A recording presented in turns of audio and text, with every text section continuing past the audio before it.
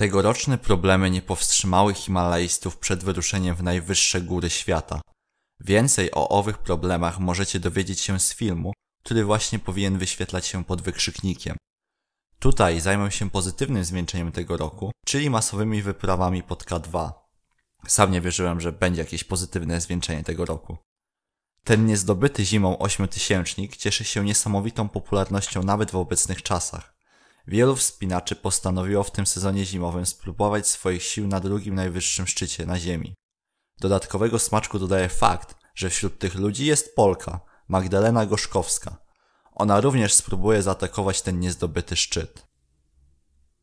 W tym sezonie o wierzchołek K2 powalczy prawdopodobnie aż kilkudziesięciu himalajstów z wielu różnych wypraw międzynarodowych. Taki tłok jest spowodowany niecodziennym zjawiskiem. Mianowicie będą to wyprawy komercyjne, w których uczestniczą tzw. Tak himalaiści klienci. Na szczęście nie zabraknie również weteranów najwyższych gór świata. Pod K2 pojawi się również Nims Puria i Muhammad Ali Satpara. Oczywiście komercyjność ekspedycji na drugi najwyższy szczyt świata jest krytykowana z wielu stron. Głównymi powodami tej krytyki jest narażanie ludzi na potencjalne niebezpieczeństwo. Do tej pory w góry Karakorum jeszcze zimą udawali się zazwyczaj doświadczeni i odpowiednio przygotowani wspinacze. Wynika to z koszmarnie trudnych warunków, które tam panują o tej porze roku. W komercyjnych wyprawach często biorą udział ludzie niedoświadczeni i nieświadomi zagrożeń, które niesie ze sobą wędrówka w najwyższej góry Karakorum. A składają się na nie niezwykle silny wiatr, temperatury rzędu kilkudziesięciu stopni poniżej zera lub nieprzewidywalne lawiny. Dlatego niezbędne jest odpowiednie przygotowanie do takiej ekspedycji. Wśród tych najróżniejszych wspinaczy z całego świata mamy również polski akcent.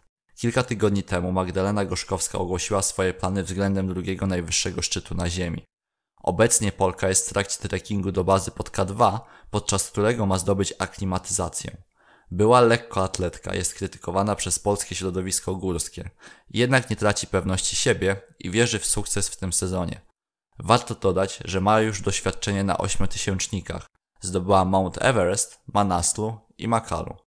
Od siebie mogę dodać, że po prostu trzymam kciuki i życzę powodzenia.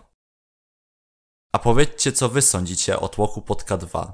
Myślicie, że skomercjalizowanie wypraw pod tak niebezpieczny ośmiotysięcznik jest dobrym posunięciem?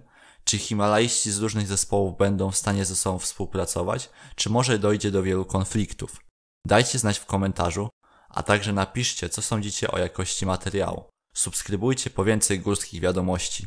Trzymajcie się i do usłyszenia.